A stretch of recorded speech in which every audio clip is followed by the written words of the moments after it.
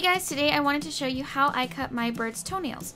In this video, I will be cutting Barry's nails and some of the canaries. For large parrots, you can use nail trimmers for dogs. I'll be using these. They are the Furminator trimmers. For small parrots or finches, you can use the nail clippers or the small animal trimmers that can be found in the pet store for ferrets or rabbits. And it's important to have Kwik Stop on hand when doing this in case you cut too much. This can be found at Walgreens or any of those type of stores, and it's a powder that goes on the nail to stop bleeding. For large parrots, I like to have them wrapped in a towel when trimming their nails.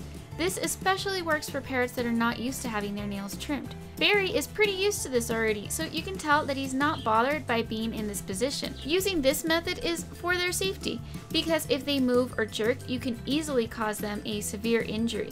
When holding them this way, you want to make sure to not hold their chest too tightly, and you don't want to press down on their chest because you can actually stop them from breathing. You can also train a parrot to let you trim the nails without them being restrained, but I just feel safer with this method.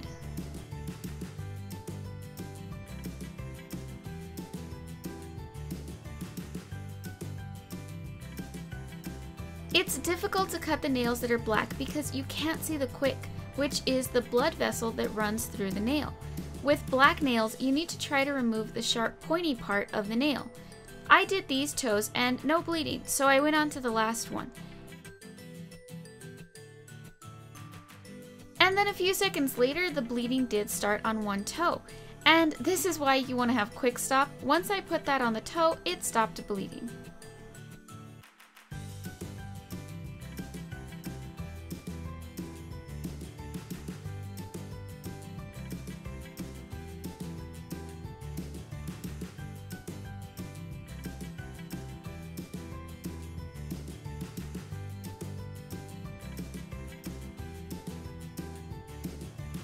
Next, we're going to be cutting the canary's nails. If they aren't used to being handled, you need to try to be quick so you don't stress them out too much.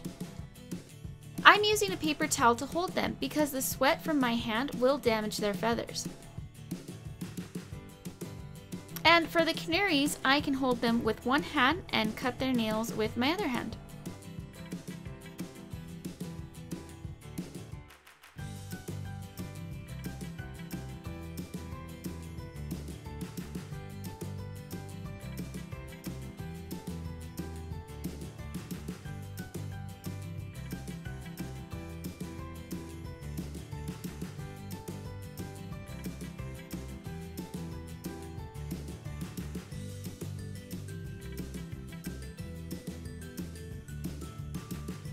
And sometimes canaries need to have their beak trimmed, but right now I don't have one that needs that done to be able to show you.